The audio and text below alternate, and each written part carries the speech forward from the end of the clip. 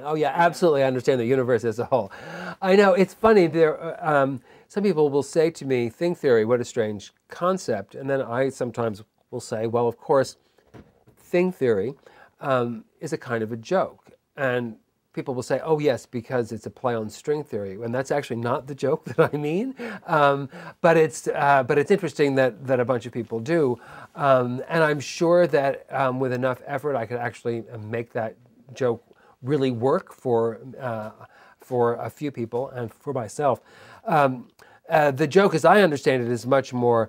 Oh, surely things are precisely not what is theory. You know, like oh, gee, um, you know, one races to the concrete in order to avoid theory. So now, you know, now we have to actually have thing theory along with all these other theories. Um, that for me is uh, more of the joke.